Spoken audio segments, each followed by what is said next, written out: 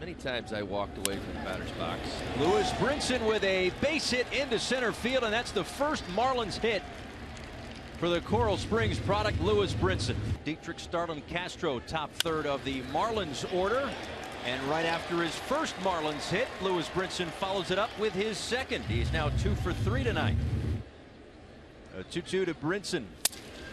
Line drive, base hit. It's a three hit night for Lewis Brinson. Hefty bill. That's coming out of the per diem.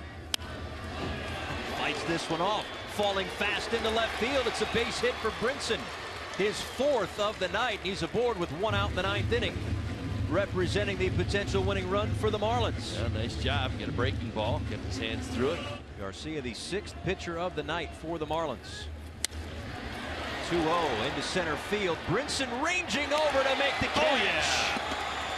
Do it, young man. How about that? Brinson doing it all tonight. Four hits and some stellar defense.